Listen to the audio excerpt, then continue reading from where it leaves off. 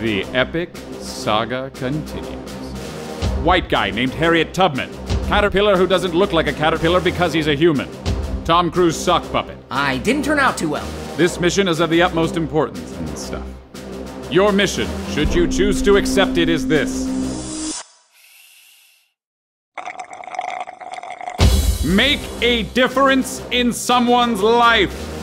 Do you accept? Uh, maybe?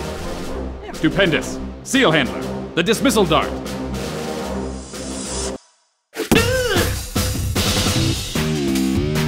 This guy looks pretty down on his luck.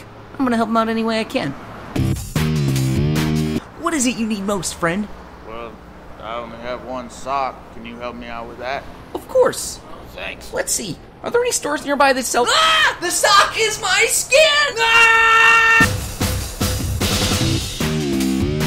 My neighbor's kid's doing a report on Harriet Tubman. As you might expect, I'm somewhat of an expert. Time to make a difference. What were some of Harriet Tubman's hobbies? I used to really be into longboarding. Got really into juice pouches too. That's really cool. But recently, Harriet Tubman's been really into filling out those one question surveys from Jack in the Box because you get two free tacos. That's great. None of these books had any of that info.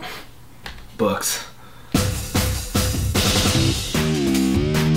Came across this pet owner whose cat stuck in a tree. Honestly, this couldn't be more up my alley. Wait, tell me your plan one more time. I'm just gonna lie down, form a cocoon around myself, emerge as a butterfly, then fly up into the tree and save your cat.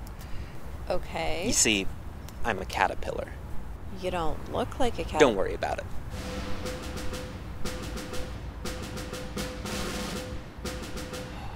Oh, I forgot.